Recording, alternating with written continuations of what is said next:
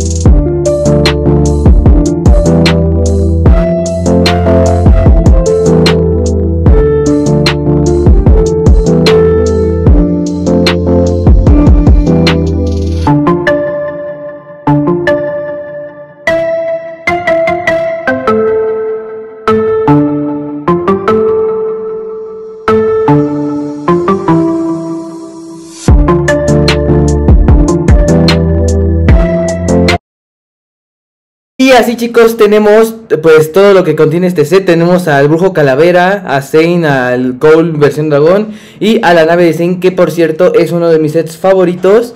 Y o sea no sé si me inclino pero bueno. El punto es de que me encanta el diseño de, los de las alas del dragón. O sea este traje es uno de mis preferidos. Y sin mencionar que este set viene con el hechicero calavera, un personaje que estuvo muy exclusivo en la temporada 13 y que ahorita pues puedes conseguir. Y o sea, pues mis quejas. este nave de Zane está pues muy corto, o sea, para mí si lo hubiera hecho un poquito como más detalle estaría bien, pero o sea, todo está increíble, el precio está súper, 799 pesos y las minifiguras valen la pena. Y eso es todo. Ahí se me cayó. Eso, ya se me cayó todo. Espero que les haya gustado. Si es así, por favor, suscríbete y dale like. Y nos vemos. Así que yo soy Miki y nos vemos. Chao.